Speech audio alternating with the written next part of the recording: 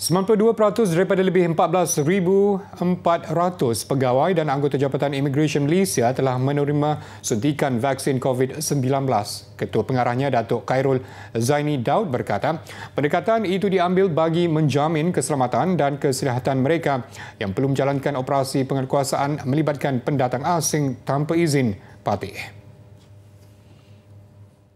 mungkin tidak boleh capai 100% kerana terdapat di kalangan pegawai yang uh, masih belum boleh menerima vaksin ini atas sebab-sebab uh, kesihatan.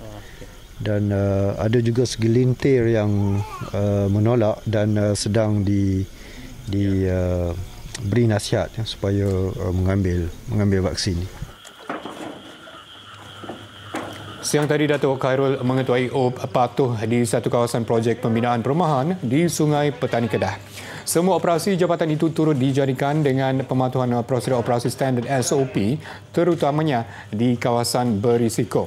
Setakat ini, kes COVID-19 yang melibatkan anggota immigration membabitkan jangkitan luar dan bukannya ketika menjalankan operasi penguatkuasaan. Sejak Januari hingga 8 Julai lalu, 9,241 parti ditahan manakala 13,127 orang diusir dalam operasi penguatkuasaan Jabatan Immigration di seluruh negara.